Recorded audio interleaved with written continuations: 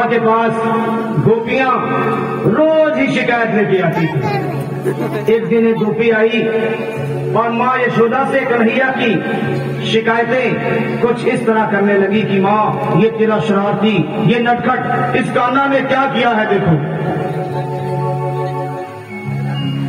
अरे